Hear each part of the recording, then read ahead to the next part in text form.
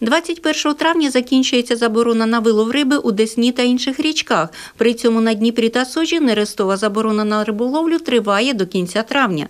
Раків ловити не дозволяється до 15 червня. За відповідними правилами, за добу одна людина має право натягати з річки не більше 3 кілограмів риби, з яких одна впіймана риба може перевищувати допустиму стандартами норму. Повідомляється на сайті Чернігівського рибоохоронного патруля.